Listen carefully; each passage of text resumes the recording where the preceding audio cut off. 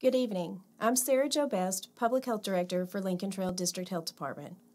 There are now 18 documented cases of COVID 19 within the Lincoln Trail District Health Department service area seven in Hardin, four in Nelson, two in Marion, one in Washington, two in Meade, and two in LaRue. There is no doubt that COVID 19 is in each one of our counties and is spreading. Last week, I showed you a map of cases in Kentucky as of March 24th. I warned then that the virus would continue to make its way across Kentucky. On your screen, you can also see the March 31st map of cases. This illustrates that preparation was in fact necessary and preventative. It was necessary for these measures to go into place to slow the spread.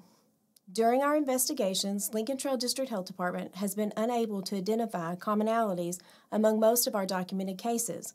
This frequently means that there is no known connection that links them to one another. This indicates to public health professionals that we do, in fact, have community spread. We must now have the mindset that every person we meet has COVID 19, and we must practice social distancing, healthy at home measures, and good hygiene. For those of you out there practicing good social distancing, keep it up. It is making a difference. We are at one of the most critical moments in this battle, and our actions will determine the future. By decreasing our contacts now by 75%, we will make all the difference in our ability to provide care for our injured, our ill, and our ability to recover. In order to defeat this virus on the first try, we must have patience, endurance, and understanding that it is a lifestyle change that could last a while. On your screen is a map of cases of COVID 19 across the United States.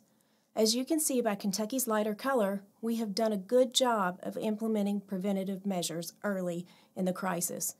In some states, the rate of new cases doubles every three days. That is why it is important to avoid any unnecessary travel, especially travel to the other states. If we cross the border into those dark colored states for services or entertainment, we risk the, bringing back the virus to our own communities. Travel will also force officials to enact home quarantine. For now, it is best to postpone these trips and order out of state goods online or by phone. In closing, I know that this time of social isolation has been especially difficult for young people. In an era when we have mo- the most ways to stay connected, we are asking people to stay away from each other. But with a little creativity, we can stay in touch with our friends, our supports, and our loved ones, even if we have to be six feet apart.